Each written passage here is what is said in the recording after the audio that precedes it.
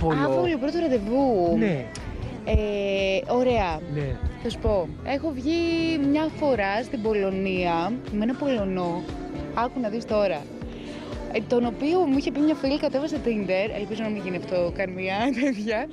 Και κατεβάζω Tinder. Εσύ τώρα. Ε, ναι, ναι, κατεβάζω. Ναι. Το γνωρίζω, βγαίνουμε, πίνουμε μια μπύρα γιατί ήμασταν, ήμουν με τον μπαμπά μου εκεί, οπότε ήθελα παρέα εγώ πιο πολύ. Ναι. Και ήμασταν πέντε μέρες.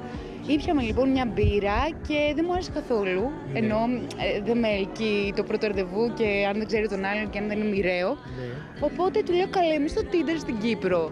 Για φίλους το έχουμε. Εγώ ήμουν με τον μπαμπά μου εδώ. Μου λέει αλήθεια, εμείς το έχουμε εδώ για να γνωρίζουμε ας πούμε, κάποιον.